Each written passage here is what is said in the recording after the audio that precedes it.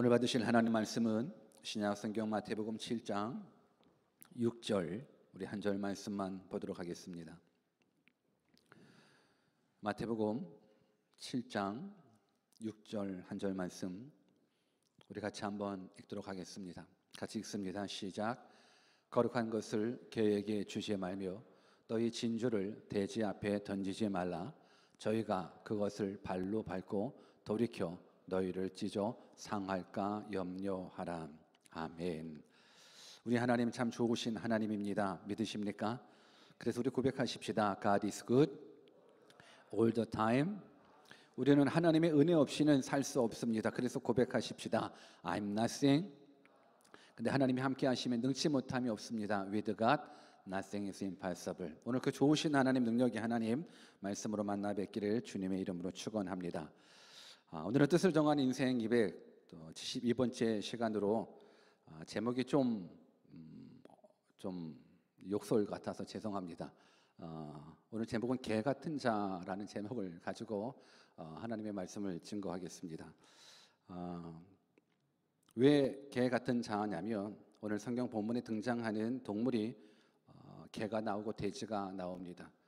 그래서 개, 돼지 같은 자면 그 좀 길어서 그냥 개와 돼지 동일한 의미로 사용되었기 때문에 어, 개 같은 자라는 제목으로 말씀을 증거하겠습니다. 어, 이것이 누군가에게는 욕으로 들려질 수도 있겠지만 정말 누군가에게는 어, 과연 이 개 같은 자가 주시는 의미가 무엇인지 깨닫고 어, 나를 발견할 수 있는 그러한 은혜의 시간이 되었으면 좋겠습니다. 우리 한번 옆에 계신 분들한테 아, 누가 개와 돼지일까요? 한번 질문해 볼까요? 시작. 아, 누가 아, 개와 아, 돼지일까요? 누가 개와 돼지일까요? 아, 오늘 본문 속에 아, 개와 돼지가 등장하게 됩니다. 아, 오늘 부분은 아, 지난 주에 남을 비판하지 말라라는 이 말씀에 이어진 말씀이라고 저는 깨닫습니다. 어, 남을 비판하는 자는 어떤 자이냐면 스스로 의인인 체하면서 하나님의 자리에 앉아서 남을 심판하는 자. 그래서 하나님은 예수님은 남을 비판하지 말라 말씀드렸습니다. 더욱이 자신들에게는 큰 죄가 있음에도 불구하고 자신들이 있는 죄는 보지 못하면서 남이 가지고 있는 작은 허물을 지적하는 그 어리석은 모습들 우리가 지난주에 말씀을 드렸습니다. 그러면서 어, 먼저 너희 눈 안에 있는 들보를 빼고 그리고 나서 남의 눈 안에 있는 티를 빼라라는 부분들을 어, 말씀을 드렸었는데 오늘 우리가 내 눈 안에 있는 들보를 빼내기 위해서 그리고 남의 눈에 티를 빼내기 위해서 필요한 항목 중에 한 가지가 저는 영적 분별력이라고 저는 믿습니다. 그래서 오늘 개와 돼지에 대한 이 말씀은 영적 분별력이라는 부분들과 연결되어 있음을 여러분들이 기억하고 말씀을 들었으면 좋겠습니다. 왜냐하면 영적 분별력이 없으면 내 눈 안에 있는 들보가 빠졌는지 아니면 여전히 있는지 깨닫지 못합니다. 영적 분별력이 없으면 내 안에 여전히 죄가 있는데 죄의 들보가 있음에도 불구하고 빠졌다라고 생각할 수도 있고 영적 분별력이 없으면 누군가를 도와야죠. 내 들보를 빼내고 남의 눈에 티를 빼내야 되는데 분별력이 없으면 남의 눈에 티를 빼는 것이 아니라 남의 눈 알을 뺄 수도 있습니다. 그렇기 때문에 오늘 이 시간 특별히 하나님께서 우리들에게 무엇을 말씀해 주고 있는지 또 어떤 분별력을 원하시는지 우리가 말씀 가운데서 깨달았으면 좋겠습니다. 우리 그런 의미에서 본문 6절을 한 번 더 같이 읽어 볼까요? 같이 한번 읽어 보겠습니다. 시작.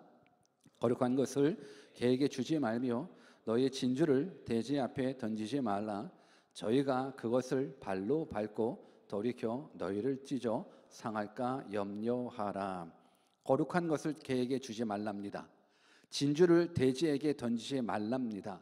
왜냐하면 개와 돼지들은 그것들의 가치를 알지 못하기 때문입니다. 오히려 자기들이 원하는 먹을 것을 주지 않는다고 해서 우리들을 찢어 상하게 할 수 있기 때문에 개와 돼지에게 거룩한 것 주지 말고 진주 주지 말라라고 이야기를 합니다. 이 한 절 말씀 가운데에 많은 분들이 해석하기를 가치가 있는 것은 그것을 받을 만한 사람에게 주어라라고 해석을 합니다. 또한 진리를 거부하거나 경멸하는 사람에게는 진리를 전파하지 말라라는 부분들로 말씀하기도 합니다. 물론 맞는 말이기는 하지만 다 맞는 말은 아닐 거라는 생각을 하게 됩니다. 물론 맞죠. 가치가 있는 것은 그것을 받을 만한 사람에게 줘야죠. 여러분 개한테 돼지한테 천만 원짜리 진주 보석을 준다라고 생각을 해보십시오. 고맙습니다.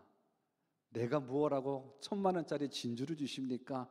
감사합니다, 주인님. 멍멍멍 꿀꿀꿀 그럴까요? 아니요, 그렇지 않습니다. 그래서 이 모습을 여러분들이 잘 깨달으셔야 됩니다. 그래서 오늘 이 시간을 통해서 그렇다면 과연 개와 돼지는 누구인가부터 한번 짚고 넘어갔으면 좋겠습니다. 개, 돼지. 먼저는 유대인들의 기준으로 볼 때에 이방인들이 개와 돼지 같은 존재입니다. 어, 개와 돼지는 부정한 동물로서 어, 우월 의식에 사로잡히고 선민 의식에 사로잡혀 있는 이 유대인들에게 있어서는 이방인들을 가르쳐 어, 사용했었던 말이 개에 대한 모습들 또 돼지에 대한 모습들인 겁니다. 그래서 예수님께서도 이방 여인을 구원하시는 계획 가운데에 이방 여인에게 어떤 표현을 쓰셨냐면 너 개다 개 같은 여자다라는 표현을 쓰셨습니다. 예수님도 물론 예수님이 그 여인을 어, 개 같은 여인으로 보시는 부분들이 아니라 그 당시 유대 사회에서 이방들이 사용되는 그 인식을 이용함으로 말미암아서 그 여인이 가지고 있는 믿음을 끄집어내기를 원하시는 것. 그래서 마태복음 15장 26절과 27절을 한번 같이 읽어보겠습니다. 같이 읽습니다. 시작.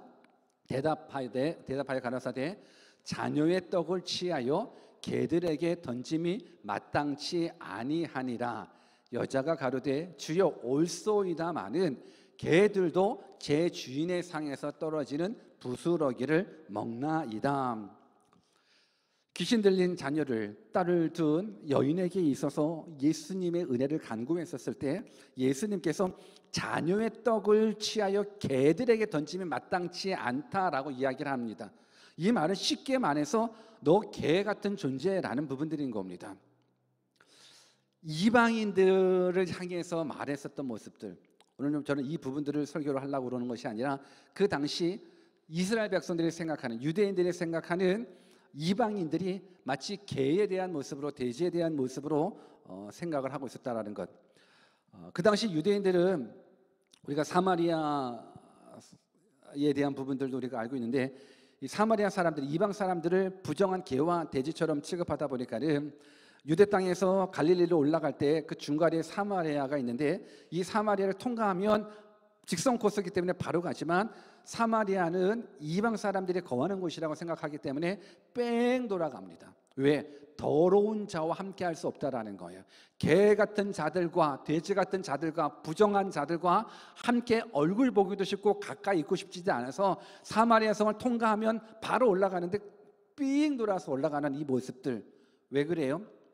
저들 가운데 선민 사상을 가지고 있는 영적으로 우월한 이스라엘 백성들 저들 가운데 가지고 있는 상황이 유대인들 외에 이방인들은 다 개와 돼지 같은 존재라고 생각하기 때문에 그렇습니다. 그런데 예수님의 관점은 달랐습니다. 이방인들이 개, 돼지가 아니라 유대인이나 자부하면서 외식하는 신앙인들을 가지고 있는 바로 너희들이 바로 개, 돼지다라는 부분들인 겁니다. 이건 지난주 말씀과 이어지게 됩니다. 왜냐하면 이스라엘 백성들 특히 바리새인들 같은 경우는 자기 스스로가 의로운 채 하면서 남들을 비판하고 비난하고 심판하거든요. 남들을 개 돼지라고 심판하고 비판하면서 자신은 거룩하다라고 얘기하는 이 모습 속에 야 저들이 개 돼지가 아니라 너들이들이 개 돼지다라는 부분들이 오늘 본문 가운데 말씀해주고 있는 겁니다.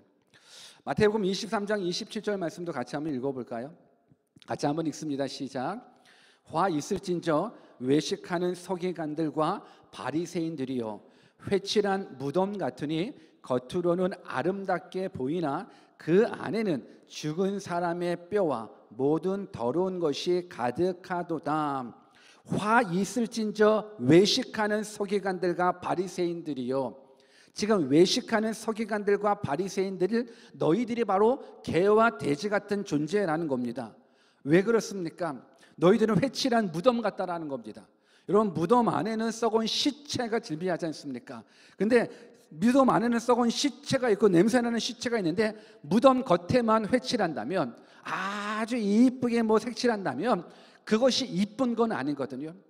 지금 이스라엘 백성들 가운데 특히 서기관과 바리새인들 이 외식하는 사람들은 겉은 너무 멋집니다. 겉은 의로운 척, 착한 척, 잘 믿는 척 하지만 그 안에는 더러움이 가득하기 때문에 이 외식하는 자다라고 그러면서 예수님께서 말씀해 주고 있는 것. 그러니까 결국은 이 말씀이 지난주와 이어지면서 남의 잘못을 지적하는 너희들 너희들이 뭔데 너희들 눈에는 더욱더 큰 들보가 있는데 어떻게 남의 자그만 죄, 죄를 바라보면서 내가 너의 티를 빼겠다? 남을 개 돼지라고 판단하는 너희가 바로 개 돼지라는 부분들인 겁니다. 여러분 이 부분들을 인정해 주셨으면 좋겠습니다. 남을 향해서 개 돼지라고 이야기하거든요. 유대인들은 그러니까요. 바리새인들은 쟤들이 개 돼지라고 이야기라고 평가하는데 예수님께서는 저들이 아니라 바로 너희들이라고 이야기를 합니다. 사도 바울 또한 빌립보 교회에 개를 삼가라는 부분들을 얘기를 하고 있습니다. 빌립보서 3장 2절 말씀을 한번 같이 읽어 볼까요? 같이 읽습니다. 시작. 개들을 삼가고 행악하는 자들을 삼가고 손 할례 당을 삼가라.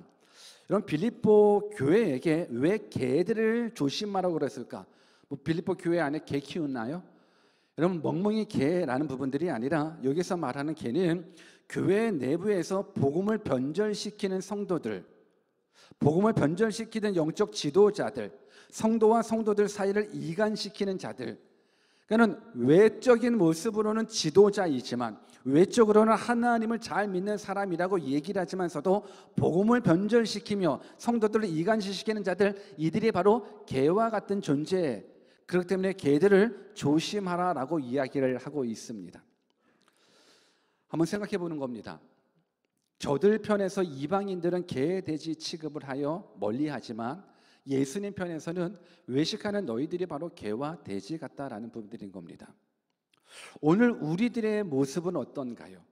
오늘 우리도 누군가를 비판하고 비난하고 심판하면서 의로운 척, 거룩한 척, 잘 믿는 척 한다 그러면 우리들의 모습 속에 개의 모습, 돼지의 모습을 발견했으면 좋겠습니다. 그래서 왜 성경은 물론 개가 듣고 돼지가 듣고 기분 나쁠 수는 있겠지만 개 돼지로 표현될 수밖에 없는 모습이 그 당시에는 그냥 많이 통용되었습니다. 왜 저들이 개와 돼지에 대한 모습으로 표현될까? 그 당시에 개는 아주 음란한 동물로 봤습니다. 그 당시에 개들은 아주 음란한 동물로 봤습니다. 사실 뉴질랜드는 이 개에 대한 이 순위가 굉장히 높지 않습니까? 그냥 어린이 그다음에 여자들 그다음에 강아지, 개, 그다음에 남자 이 우선순위가 이게 다 나눠주는데 그냥 그, 그 강아지 이쁜 강아지 이 개념이 아니라 이스라엘 백성들이 생각했었을 때 개 그러면 그냥 우리처럼 뭐 이쁜 강아지 뭐 이런 차원이 아니라 음란한 동물로 봤습니다. 개 이꼴 음란한 동물로 봤습니다. 왜냐하면 개들 뭐 지금이야 뭐, 뭐 뉴질랜드 같은 경우는 뭐 다 집에서 키우지만 한국 땅 같은 경우에 보면은 개들이 길거리에 많이 돌아다니지 않습니까? 그러면 이 개들의 특징 중에 한 가지는 시도 때도 없이 장소도 불문하고 서로 교미하는 장면들이 한국 사회들 참 많이 있었습니다. 길거리 지나가도 개들 보면 부끄러움을 모르는 거예요. 시도 때도 장소도 불문한 채 교미하는 그 모습들을 많은 사람들이 보면서 개를 음란한 동물로 여겼던 겁니다. 그리고 더군다나 개는 또 싸움을 상징하는 모습이기도 해요. 만나기만 하면 으르렁거리고 짖고 화내는 이 모습이 개에 대한 모습으로 묘사되고 더더욱더 개는 아주 더러운 동물로 묘사됩니다. 어, 개가 똥도 먹어요. 알아요? 그래서 똥개라는 부분들도 있는데 베드로후서 2장 22절 한번 같이 읽어볼까요? 개가 얼마나 더러운지 같이 한번 읽습니다. 시작. 참 속담에 이르기를 개가 그 토하였던 것에 들어가고 돼지가 씻었다가 더러운 구덩이에 더러 누웠다 하는 말이 저희에게 응하였도다. 개가 그 토하였던 것에 들어가고 그 토했던 것을 다시금 먹는 것. 그러니까 더러운 것을 더러운 것으로 여기지 않고 그 토했던 대로 들어가고 토했던 것을 먹고 그렇기 때문에 더러움에 상징할 수 있는 게 이 개에 대한 모습들 또 돼지에 대한 모습들은 씻었다가 더러운 구덩이에 도로 누웠다 하는 부분들 그러니까 돼지는 성경적으로 책임지를 못하기 때문에 부정적인 동물뿐만이 아니라 욕심을 상징하기도 하고 더러움을 상징하기도 하는 겁니다. 그래서 그 당시에 가장 안 좋은 짐승 두 마리를 댄다 그러면 개와 돼지에 대한 모습들. 지금도 개, 돼지는 뭐 욕이지 않습니까? 그렇죠? 지금도 사람들이 싫어하는 거야. 야, 너 돼지 같아. 물론 나 그렇게 뭐 이쁘 이런 게 아니야. 너 개 같아. 그러면 그래, 내가 그렇게 이뻐, 사랑스러워 이렇게 하지 않아요. 왜? 그 당시 사람들 이스라엘 백성들이나 지금이나 개, 돼지는 음란하고 더럽고 욕심 많은 것들의 상징인 겁니다. 그런데 한번 따져 보는 겁니다. 음란하고 더럽고 욕심 많은 것의 상징이 개와 돼지인데 그보다도 더욱더 개와 돼지를 상징하는 치명적인 약점이 있습니다. 음란하기 때문에 개, 돼지 취급하는 것 물론 맞지요. 더럽기 때문에 개, 돼지 취급하는 것 물론 맞습니다. 그런데 개, 돼지의 음란하고 더럽고 욕심 많은 것 그 모습보다도 더 치명적인 게 뭐냐면 저들에게 있어서는 가치를 알지 못한다라는 것 이것이 가장 치명적인 겁니다. 왜냐하면 이 개, 돼지의 모습은 사실 우리들의 모습인 겁니다. 우리들의 음란한 모습들, 우리들의 욕심, 우리들의 더러운 것. 여러분, 개가 토해했던 걸 다시 먹는 거, 이 습관이 뭐냐면 죄에 대한 부분들, 우리가 죄를 토하고 다시 또 죄를 삼켜 먹거든요. 우리가 예수님을 믿고 우리들의 죄를 깨끗이 회개하고 나서 또 다시 더러운 죄의 모습으로 들어가거든요. 그러니까 개 돼지의 모습은 개 돼지의 모습으로 끝나는 것이 아니라 우리 안에 있는 개와 돼지의 모습, 영적인 부분들로 토했었던 것을 또 토먹는 것. 또 깨끗이 씻었지만 예수님의 피로 깨끗이 씻고 회개기도 했지만 또 제약된 구속으로 더러운 곳으로 들어가고 있는 이 개 돼지의 모습이 우리들의 모습인 건데 이 모습보다도 더 치명적인 것이 바로 가치를 알지 못하는 모습이 바로 개 돼지의 모습이라는 것. 그래서 오늘 이 본문 6절 말씀 우리 한 번 더 같이 읽어볼까요? 음란하기 때문에 개돼지, 욕심 많아서 개돼지가 아니라 정말로 가치를 모르기 때문에 개돼지가 되는 겁니다. 같이 한번 읽어보겠습니다. 시작. 거룩한 것을 개에게 주지 말며 너희 진주를 돼지 앞에 던지지 말라. 저희가 그것을 발로 밟고 돌이켜 너희를 찢어 상할까 염려하라. 거룩한 것을 개에게 주지 말랍니다. 진주를 돼지 앞에 던지지 말랍니다. 왜? 저들은 그것을 오히려 밟고 오히려 거룩한 것을 주고 진주를 전해주는 사람을 물어버리고 상하게 할 수 있기 때문에 그렇습니다. 여기서 말하는 거룩한 것은 하나님께 드리는 제사용 예물, 제물입니다. 진주는 이 세상에서 가장 가치 있는 것을 뜻하는 겁니다.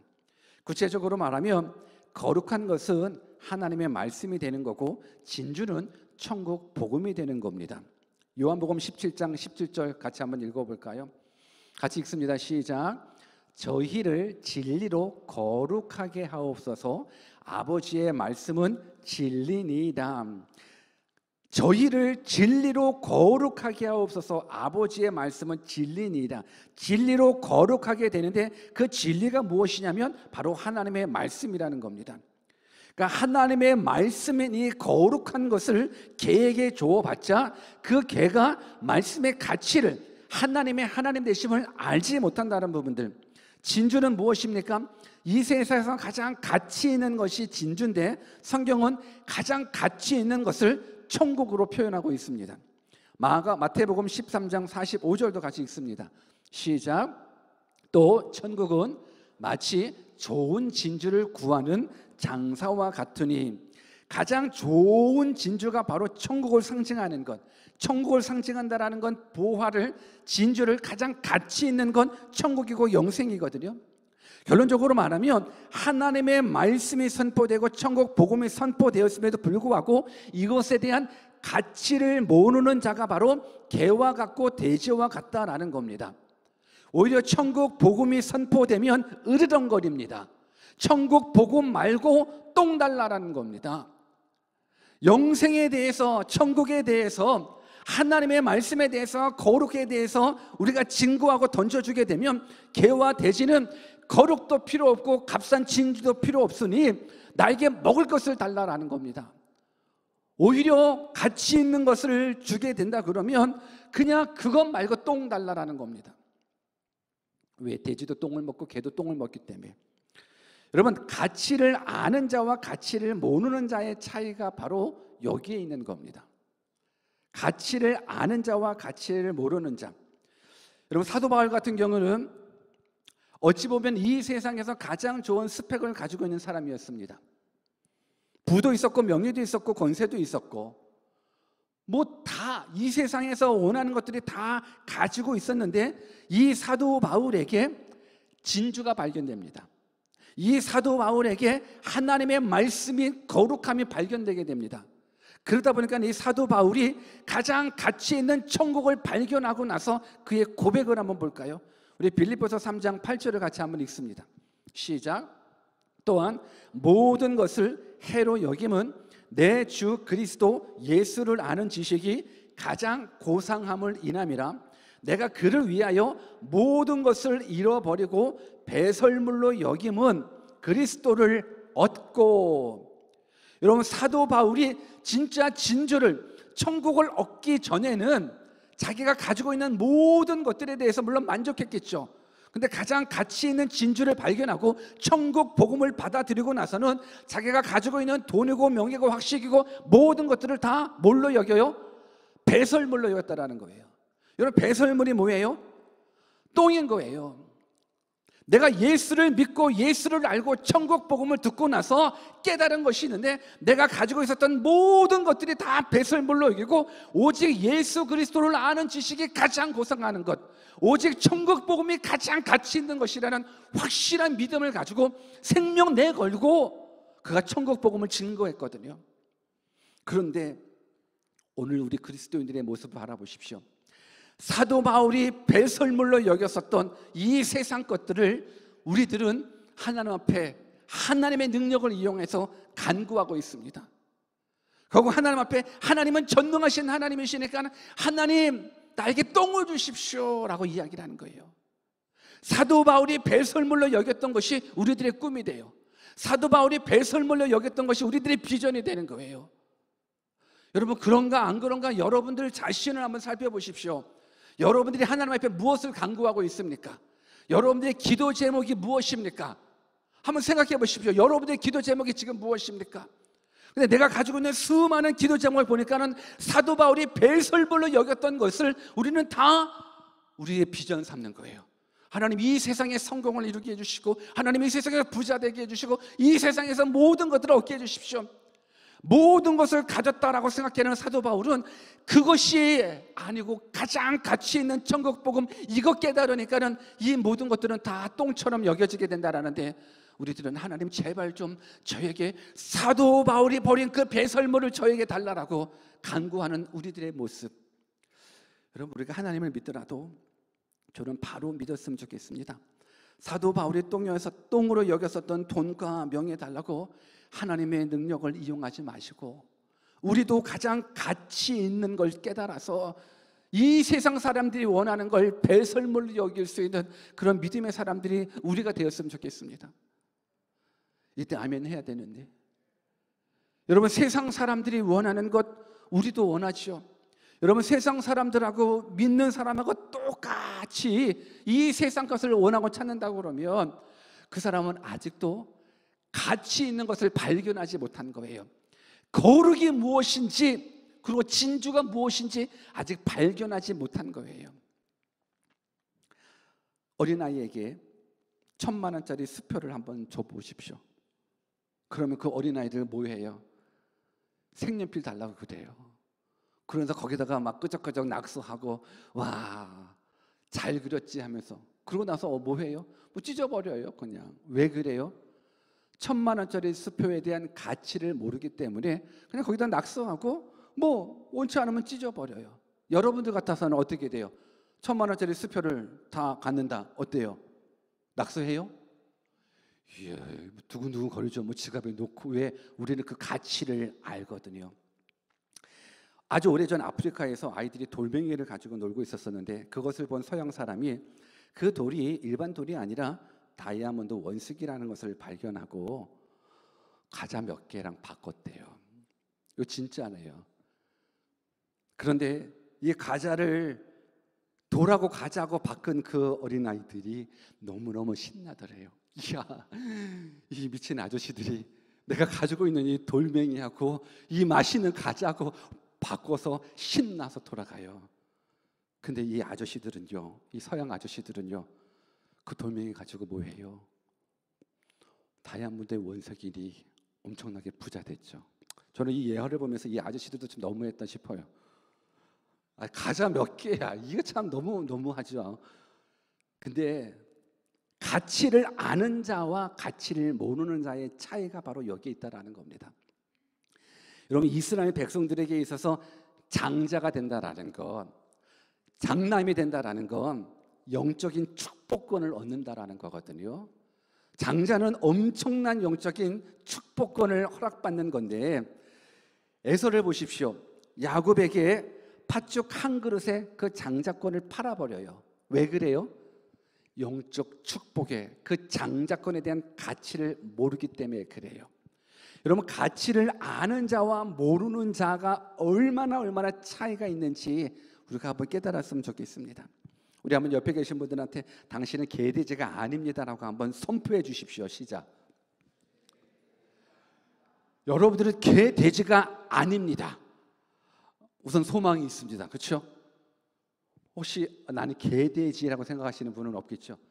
여러분들 우리는 개돼지가 아닙니다. 같이 같이 음란하고 욕심스럽고 뭐 뭐 더럽고 뭐 그래요. 우리 다 개돼지나 똑같은 우리 인간의 습성들 맞아요. 그런데 진짜 영적으로 개돼지는 가치를 모르는 것. 여러분 이스라엘 백성 보십시오. 애굽의 종으로 있었는데 하나님께서 모세를 통해서 출애굽하여 진정한 자유를 허락해 주셔요. 진정한 자유를 허락해 주시기 위해서 출애굽 시켰어요. 근데 그들이 광야길을 걸어가다가 고기가 먹고 싶다, 뭐 부추가 먹고 싶다 하면서 무슨 얘기를 하냐면 내가 차라리 애굽에 종되었으면 좋겠다.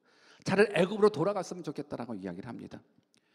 여러분 자유에 대한 가치를 모르니까 이 부추 먹고 싶다고 이 고기 먹고 싶다고 애굽으로 돌아갔으면 좋겠대요.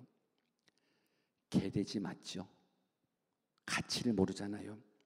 여러분 가나안 땅에 입성한 이스라엘 백성 보십시오. 하나님의 역사를 경험했거든요. 하나님의 역사를 경험했음에도 불구하고 저들이 가나안 땅에 들어가서 역사의 주관자이신 하나님만을 섬겨야 됨에도 불구하고 이방 신들을 섬겨요. 하나님과 세상의 탐욕을 맞바꿔요. 나의 쾌락을 위해서 하나님을 내버려요. 나의 세상적인 유익을 위해서 하나님을 내팽겨쳐요. 왜 그래요? 가치를 모르기 때문에 그렇습니다. 여러분 역사를 주관하시는 분이 하나님이신데 역사를 주관하시는 그 하나님을 잘 모르고 그냥 내 세상 쾌락과 창조 주신 하나님을 맞바꾸더라고요. 내 세상 유익과 영원하신 영생을 주신 하나님 앞으로 맞바꾸더라고요. 가치를 모르기 때문에 그렇습니다. 로마서 1장 21절 23절을 같이 한번 읽어 볼까요? 같이 한번 읽습니다. 시작. 하나님을 알되 하나님으로 영화롭게도 아니하며 감사치도 아니하고 오히려 그 생각이 허망하여지며 미련한 마음이 어두워졌나니 스스로 지혜 있다 하나 우준하게 되어 썩어지지 아니하는 하나님의 영광을 썩어질 사람과 금수와 버러지 형상의 우상으로 바꾸었느니라. 누가요? 영적으로 개와 돼지 같은 자일 수밖에 없는 겁니다. 하나님을 알되 하나님으로 영화롭게 아니한대요. 하나님을 알면 하나님을 영화롭게 할 수밖에 없습니다. 하나님을 알면 하나님을 예배할 수밖에 없습니다.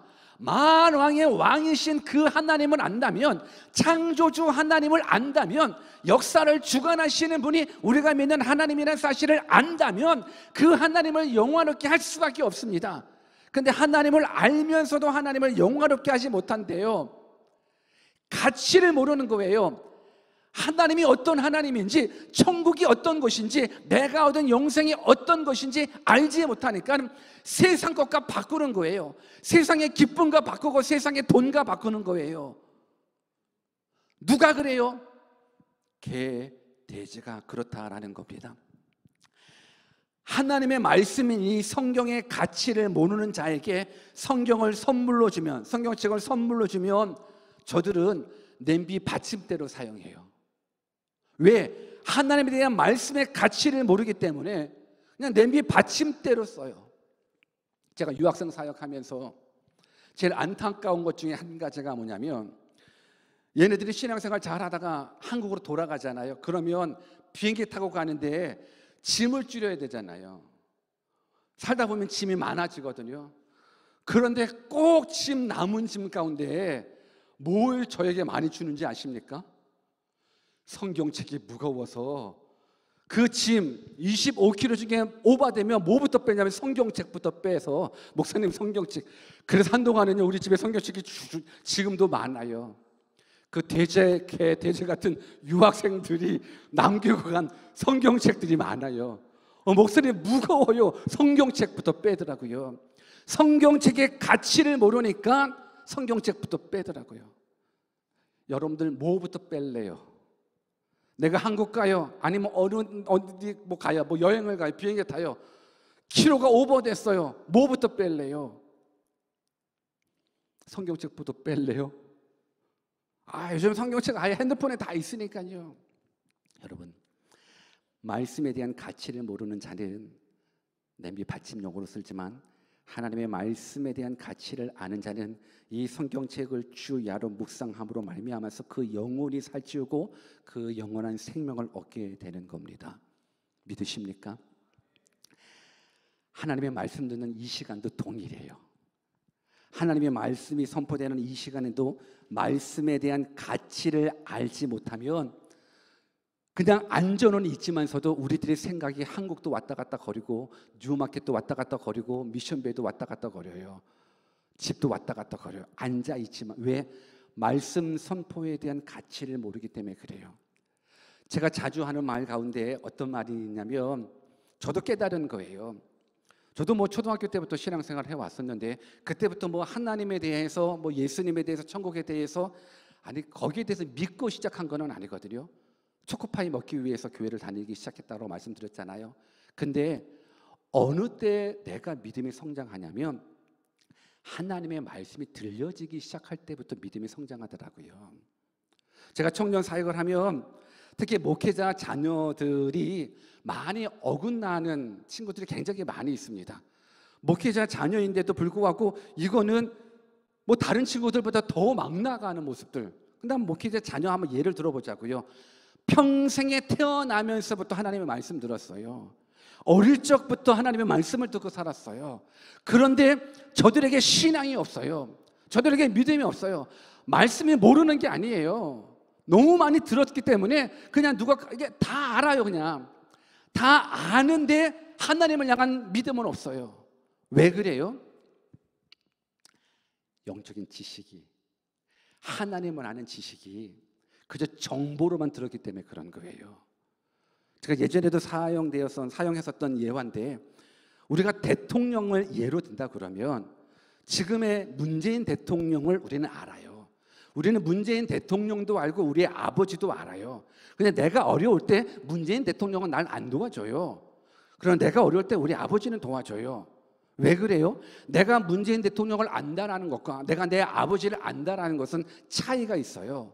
내가 문재인 대통령을 안다라는 건 인포메이션인 거예요. 정보인 거예요. 그분이 대한민국의 대통령이라는 사실을 안다라는 건데 내가 내 아버지를 안다라는 건 인포메이션이 아니에요. 어, 당신 내 아버지예요. 정보로서 아는 게 아니라 관계로 아는 거예요. 오늘 예수님에 대해서 하나님에 대해서 정보로 아는 사람이 있어요. 어 하나님, 어 창조주, 어 예수님 우리의 구원자 정보로 아는 자가 있어요. 정보로 아는 자는 그 예수님이 여러분들을 도울 수 없어요. 관계로 아는 자, 그 하나님이 나의 아버지이신 거예요. 그 하나님이 그 예수님이 나의 구원자이신 거예요. 그 관계성이 성립되게 되면 그때 만왕의 왕이신 그 하나님이 나를 책임져 주시는 거예요. 이끌어 주시는 거예요. 여러분 믿으십니까? 이 믿음이 여러분들 가운데 있어야 되는데 이 믿음이 안 들리는 거예요. 하나님의 말씀이 안 들려지는 거예요. 바로 없기는 하나님의 말씀 듣는 이 시간에 집중했으면 좋겠어요. 한국 가지 마십시오. 어차피 또 코로나 끝나면 갈 거잖아요. 그렇죠? 막 지금 막 열리기를 기도하는 사람 많은데 아니 한국 왔다 갔다 가지고 그건 나중 일이고 지금 이 순간에 하나님의 말씀이 들려지게 해 주십시오라고 기도하십시오. 그리고 말씀 듣는 시간에 딴 생각도 하지 말고 딴 짓도 하지 마시고 경청하십시오. 그리고 하나님 말씀 듣게 해달라고 기도하십시오. 말씀이 들려지게 해달라고 기도하십시오. 핸드폰도 보지 마시고 그저 정말로 하나님의 말씀의 음성이 들려질 수 그때부터 여러분들이 신앙이 시작하는 거예요. 그때부터 아무리 교회 믿음의 뭐 사람이라고 할지라도 진짜 믿음의 성장은요. 하나님의 말씀이 내 심령에 들려기 시작할 때부터 믿음이 성장하는 거예요. 아무리 모태 신앙이고 뭐 목회자 자녀고 그게 그게 소용 있는 게 아니라 오늘 처음 교회 왔더라도 하나님의 말씀이 들려지는 자 그가 바로 영적으로 시작하는 거, 성장하고 성숙할 수 있는 겁니다.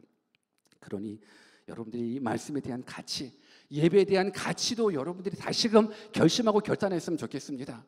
시간 있을 때 드리고 시간 없을 때 안 드려지는 부분들이 아니라 하나님을 아는 사람이라면 하나님을 예배하는 것이 얼마나 얼마나 가치 있는 것인지 그리고 하나님은 이 예배, 시간의 주권자이시고 생명의 주권자이신 그 하나님을 향한 믿음의 고백을 하는 자에게 하나님은 그 믿음대로 일해 주시는 겁니다. 우리가 주의를 성수하는 것, 우리가 11조 생활을 하는 모든 게 뭐예요? 시간의 주권을 하나님께 인정하는 것, 물질의 주권을 하나님께 인정하는 것, 생명의 주권을 하나님께 인정하는 것이거든요. 인정해 보십시오. 그러면 역사를 주관하시는 하나님이 여러분들의 삶을 책임져 주실 겁니다. 그런데 우리가 개와 돼지 같아 가치를 알지 못하기 때문에 그렇습니다. 사랑하는 여러분들, 이제 성령 하나님을 초청했으면 좋겠습니다. 여러분 오늘 주신 이 한 절 말씀, 이 한 절 말씀에 어, 많은 분들이 그렇게 얘기를 하더라고요.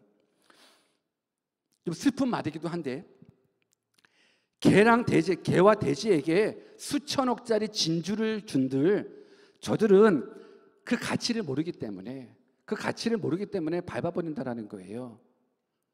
그래서 이 말씀을 가지고 하나님의 구원에 대한 예정론을 얘기를 하더라고요. 똑같은 인간이지만 개, 돼지가 있다라는 거예요.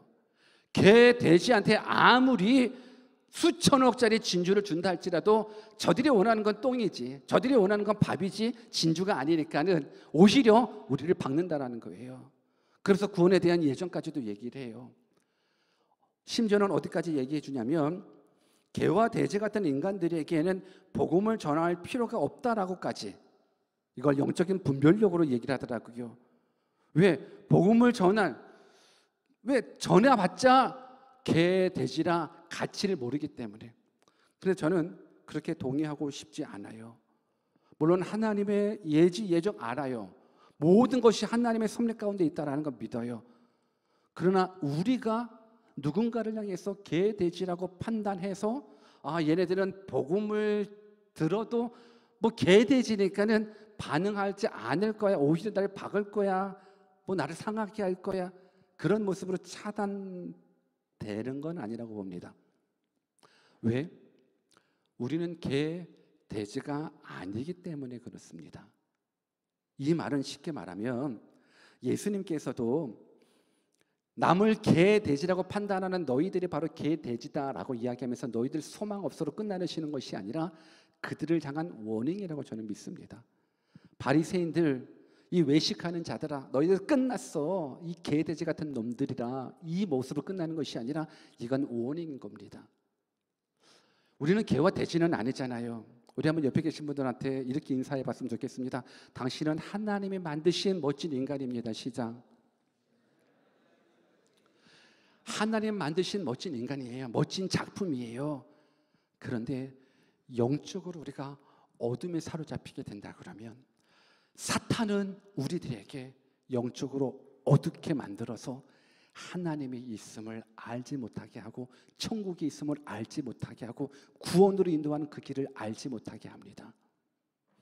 이제 우리가 기도해야 될 건 하나님 우리가 천국에 대한 가치를 바로 알게 해 주십시오.